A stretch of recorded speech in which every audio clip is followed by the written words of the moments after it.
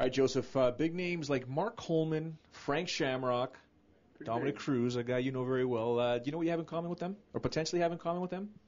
Um, stunning features, chiseled features. It's always going back to the model thing, isn't it? I'm just kidding.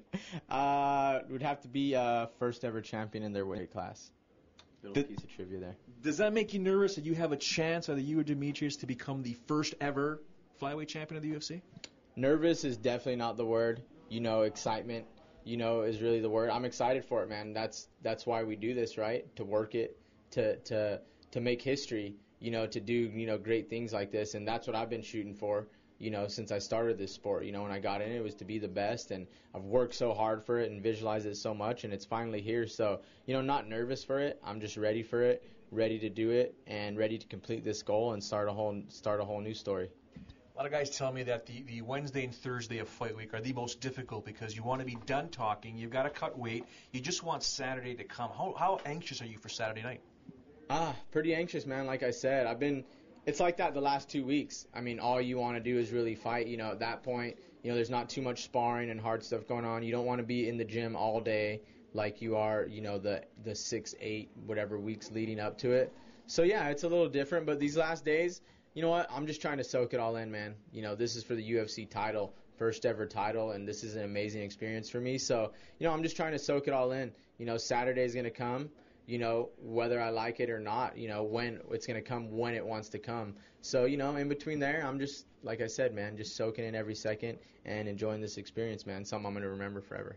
I've long maintained that you flyweights are like video games. Like you so playing a video game, there's more happens in a, in a flyweight scramble uh, than a Georges St. Pierre title fight in a full round.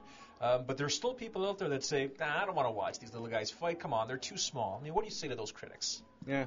Most of those guys just like heard that somewhere and then they just repeat it. Like they heard some big guy say, I don't want to watch little guys. And they're like, oh, yeah, me either. I don't want to watch little guys. The truth is, when you see the fight, you know, we're going to deliver 100% and you're going to be like, holy cow, you know, what just happened? That was a way more exciting fight than this other guy, you know, that I enjoy and that I'm wearing the shirt of or whatever, you know. So it's just the fact of us going in there and, and delivering, man. I mean, you know, you're gonna we're gonna get the finishes, we're gonna get the knockouts. Something you're gonna see in our weight class that you won't see in any other is what you mentioned. You know, the scrambles and the nonstop action. You know, and and pace that we complete. I mean, it's no secret. I mean, it's a fact. A 200 pound man is going to get tired before a 125 pound man. You know, a 200 pound man is not going to move as fast as a 125 pound man. So, I mean, you know, speed's awesome. You know, why do you think that the sprint track and field is the most exciting event? Because it's the fastest. And, you know, that's what we're going to do. So it's just a matter of getting eyes on it. You know, I'm going to go in there and, and fight for myself and make it the most exciting weight class, you know, that, uh, that, that that's possible. I don't want to give you guys any bad karma. Actually, Demetrious was happy that I said it, but if there's ever a fight that I wish would go five rounds, it'd be this one here because I get to see you guys do those scrambles and transitions and stuff. Do you think it's going to go five rounds?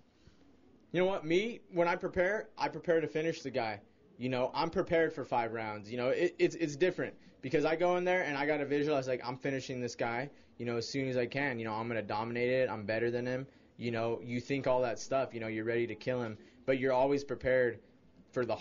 Me anyway, I'm prepared for the hardest 25 minutes of my life. I know I have to possibly go through 25 minutes of hell, you know, to get what I want to get. So, you know, I'm prepared for that, and it's very possible with an opponent like Demetrious, you know, to go five rounds. But, you know, of course, I'm looking in there not only become the first ever champion, but become the first ever to finish him. And I promise, guys, it'll be exciting up until that point. If you don't get all 25 minutes, it'll be exciting as long as it goes.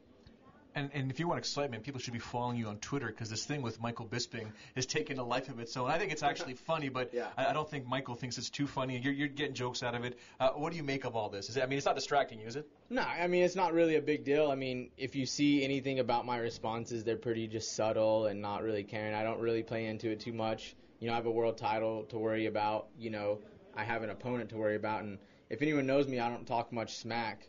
Not even to my opponent. So why am I going to talk smack to you know someone someone else that's not my opponent? So it's just fun. You know, I mean, you know, it was pretty cool. I mean, I got so many responses just from Twitter. Just you know, fans are so awesome and passionate out there. You know, just taking sides. But you know, Michael's cool. You know, we had our little whatever you want to call it uh, at the beginning. You know, at the press conference about the co and, and main event, and you know, we were cool after that. So you know now we had this. So it's just you know one thing. He makes a few jokes. I make a few jokes.